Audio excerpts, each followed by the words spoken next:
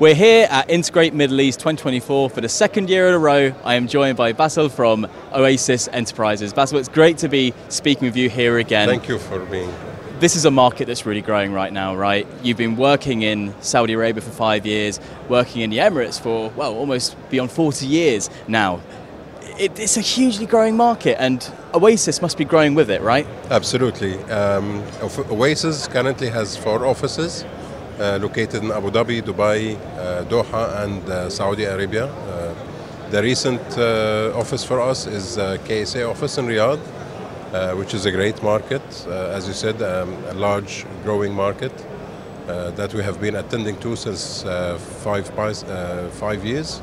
And the team is also growing there, and we hope to achieve a lot in, in that market as well. As a company that's been operating in this region for so many years now, you must have seen significant change in the trends and challenges of the Middle Eastern market. Um, starting with the trends, what are you seeing that's really driving change and innovation in this region? Well, at Oasis, we like to create trends like rather than following trends. So, uh, one of the things that we've also created within Oasis uh, recently is um, having a business unit called Robotics and AI uh, which takes care of uh, supply of um, solutions related to robots, uh, VRs, uh, holograms, and so on, augmented realities. So it is something that I would say is definitely coming to the usage of AI is definitely coming to our industry one way or another, and um, we have to adopt to it. And we we've actually started it, and we've now have a couple of very interesting projects.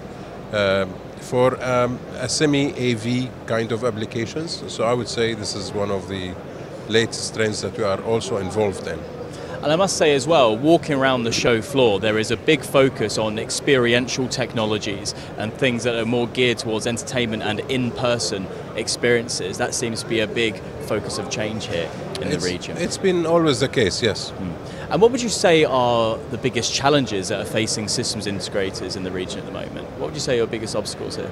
Um, I would say the challenges are mainly around balancing the um, quality uh, solution quality with the budget uh, available uh, by the client and to select very carefully the uh, type of products and the solutions that you provide to the client uh, without compromising on the quality, but also because price is becoming um, part of the decision that the clients are um, using to do the selection.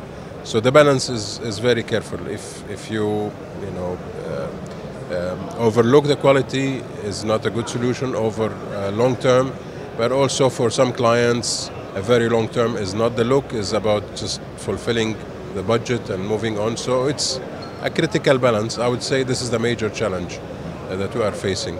And this isn't a market that ever stands still. There's always new players in the market, new opportunities, new projects, and new challenges. You touched on the role that AI and holograms have to play in the market now. How do you see uh, the audiovisual market in the Middle East evolving over the next, say, five to ten years?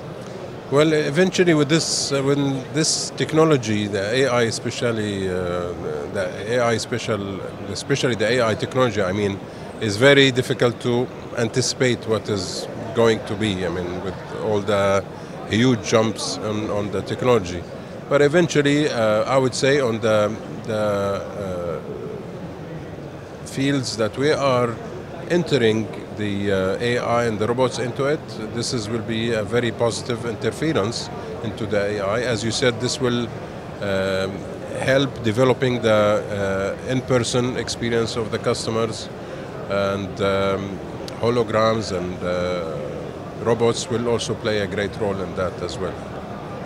It seems like there's plenty happening in this market, plenty more to come and hopefully we'll see you next year at Integrate Middle East I hope once again. I hope so. Brilliant. Basel, thank you so much for your time thank today. You. It's been a pleasure. Thank you. Thank you.